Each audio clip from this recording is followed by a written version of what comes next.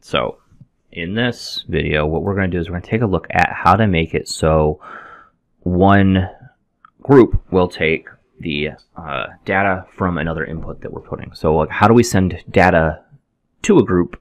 So like say I push a button, I have a thing, I want to send that thing to the group to then do stuff in the group. Maybe I'm changing settings. Maybe I'm altering the data of that thing after I do a query. So uh, first let's make a thing. So let's do thing for this video. And then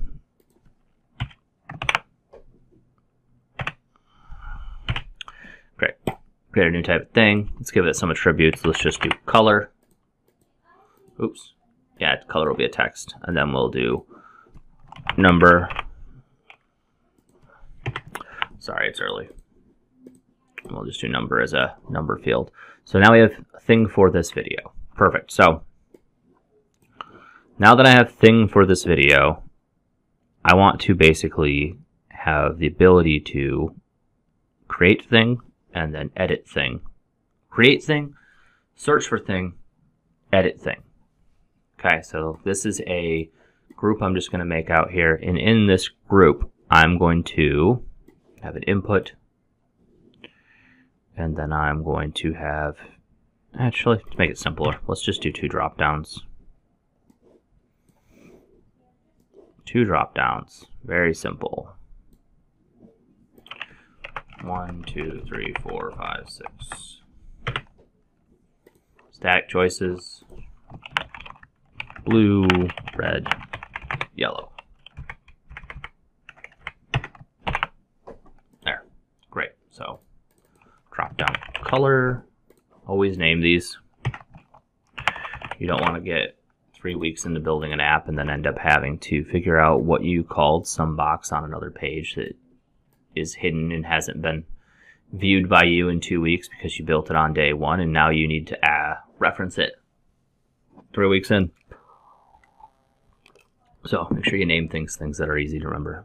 Uh, the way you would kind of describe. I, I like to name things how I would describe them. So like button A, button create the thing for the video.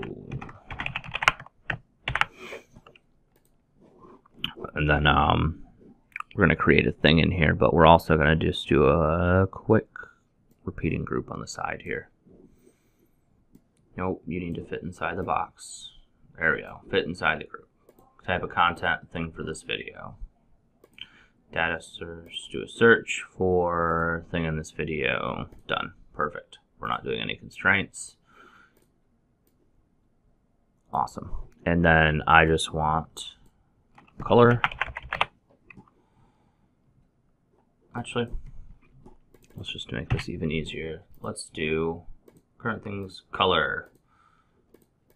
And then uh, let's do current things number. Great. It doesn't necessarily matter what they are. then we're just going to put a button in this group there we go.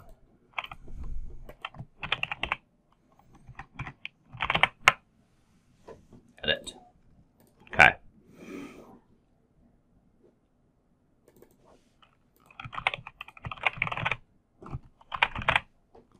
Alright, create thing, we're going to edit it. So let's create an action here. Why is it not working?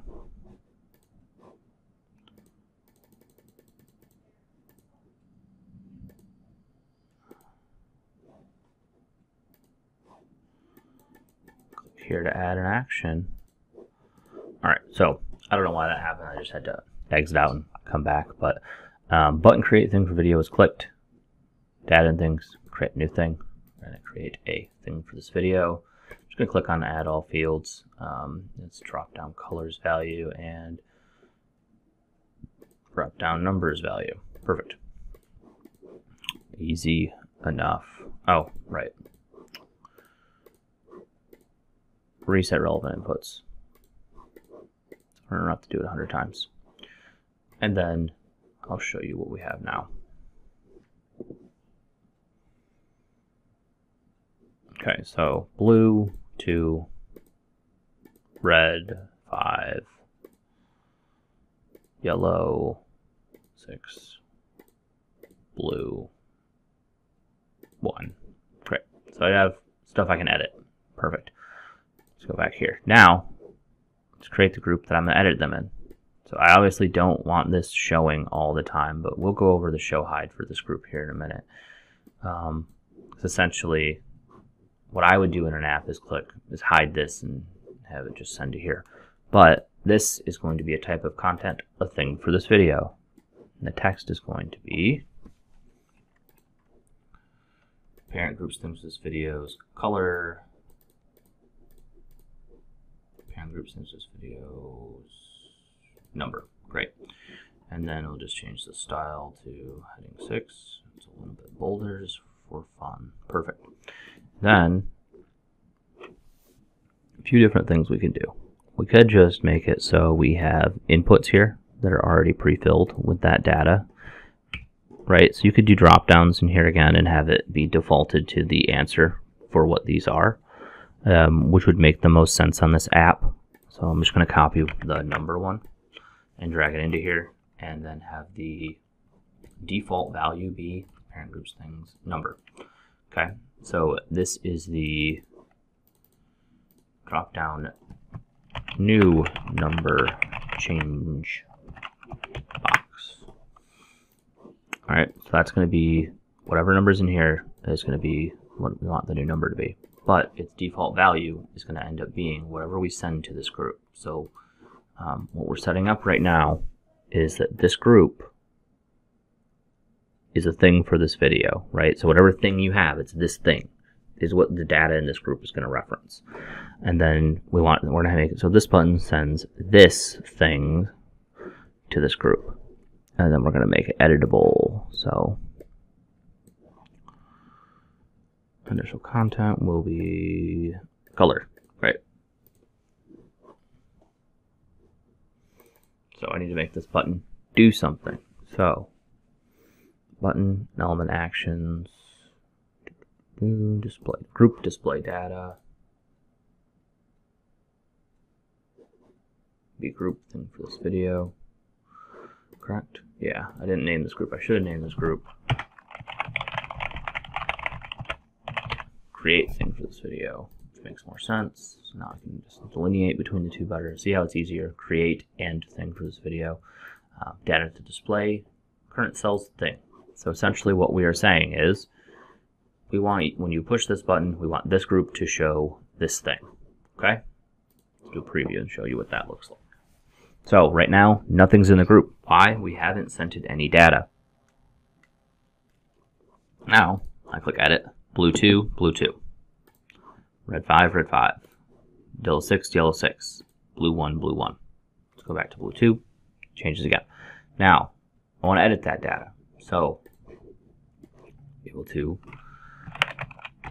save changes.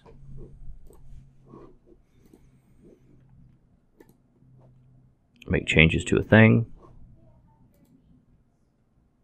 Parent groups thing for this video. It's referencing the group that it's sitting in, which is the thing that we sent there. All fields. We'll just go grab the. This is for color. Um, we did not, and we didn't name input A, which was bad. We should have named input A, but input A is going to be the only input we have, so we know that's the right one. And then drop down new number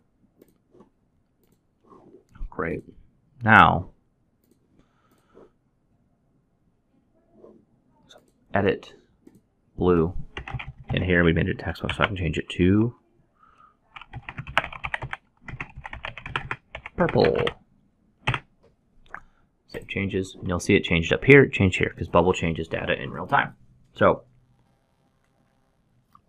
very easy things to do uh, in terms of sending data to a group um, if I was using this in my app, I would actually have this group be uh, invisible on page load.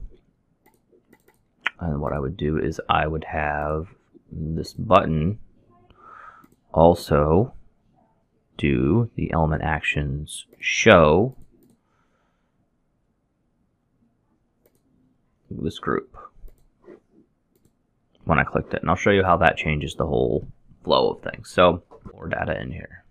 Great, but I want to edit purple 2. Click purple 2, boom, there we go. now it shows. I could put an X here to close out of it or whatever I wanted to do. I could also make it so this hides, so I could so go edit and it would show hide. It would show this group and hide this group. But more on the show in, in hiding in another video. This video is about creating a thing, sending data to an area, and being able to edit that thing. All right, this was helpful. Please give it a uh, give it a thumbs up. Um, subscribe. I'm trying to see if we can maybe get to a thousand by the end of the year. That'd be pretty cool. All right, have a great day.